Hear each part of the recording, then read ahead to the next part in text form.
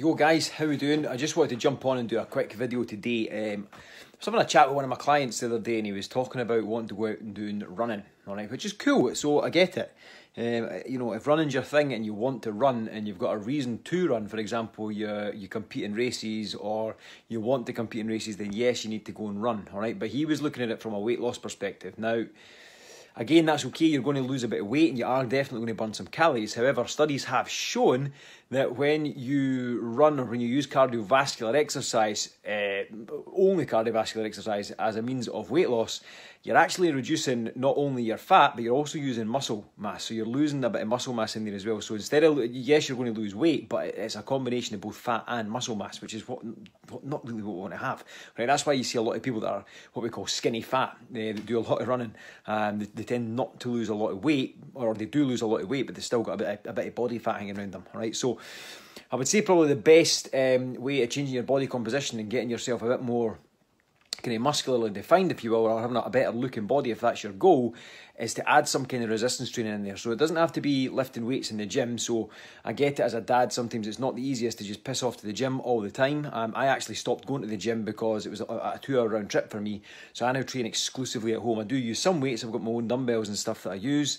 Um, but I do a lot of body weight exercise, right? And body weight exercise counts as resistance training. So you don't have to be going to the gym and doing all the, the, the crazy stuff that's in the gym. Although I do miss it, I've got to say I do miss it. I can't do deadlifts, I can't do uh, barbell squats, but I'm able to kind of supplement that in other ways at the moment, all right, until things kind of change home wise. So I do understand, all right, but there are options for you. So if you don't have any weights, um, if you don't have things that you can do resistance training with uh, at your disposal at home, you've got your own body, all right? So you can use your body weight. You can do push-ups. You can do squats. If you've got a, you, you know, if you don't have a pull-up bar, you can jam a towel in between your door and do some rows, all right, to get your back working.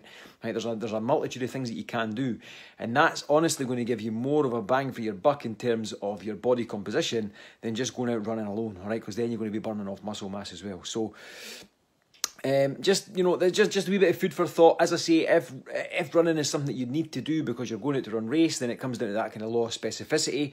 If you want to get better running, you have to run. But with that being said, I really don't do any running. I do enjoy running, but I really don't do it.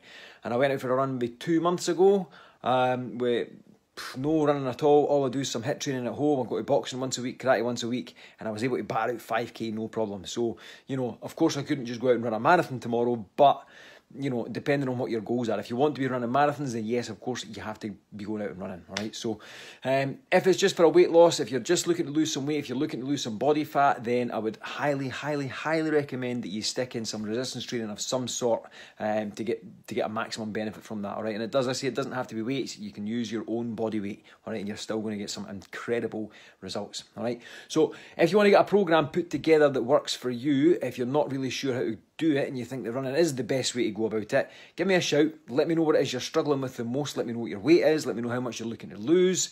And then we can get together and put a plan together that suits you and your lifestyle to hopefully move you towards your goals that wee bit faster. All right. Have an awesome day and I'll see you on the next one. Cheers.